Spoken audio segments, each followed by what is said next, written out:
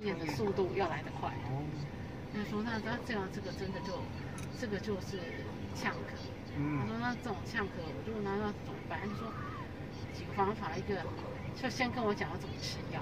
嗯他说药物可以让那个口水跟鼻水不要分泌这么多，就比较不会呛。嗯他说还有那个姿姿势啊，要怎么做调整，他还帮我讲跟我讲说，那先开那个什么比较呃缓慢的药，就是药药效没有那么强，嗯，先开缓慢的药，如果能够控制的话，再看看，那然后一个月后再再挂号，哦，至少就很细心，然后他会等等我妈妈真的有呛到的时候嗯，再看，